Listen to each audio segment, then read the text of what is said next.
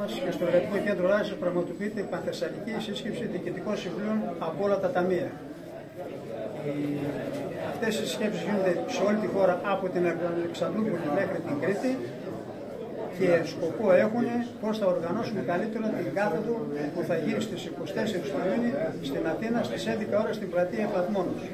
Τα προβλήματα τα οποία είναι βασικά τα γνωρίζετε εσείς καλύτερα και η κοινωνία, οι συνταξιούχοι περνάμε ό,τι πιο δύσκολο. Οι συντάξεις ενώ παλιά φτάναν για 18-20 μέρες, τώρα δεν φτάνουν ούτε για 10 μέρες.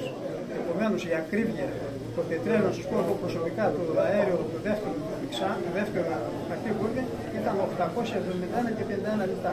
Δηλαδή μία σύνταξη ολόκληρη. Επομένως το δεύτερο που θα πει τώρα και το πρώτο, οι συντάξεις, τρεις συντάξεις θέλουν μόνο και για το αέριο. Ρεύμα κτλ. Στο σούπερ μάρκετ αυτά τα ξέρετε και τα λέμε κάθε μέρα. Επομένως δεν υπάρχει άλλος δρόμος από τον δρόμο του αγώνα.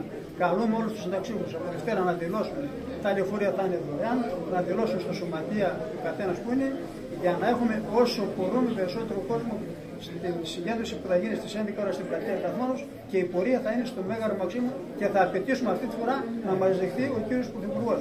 Όλοι οι συνταξιούχοι να δηλώσουν συμμετοχή στην Αθήνα.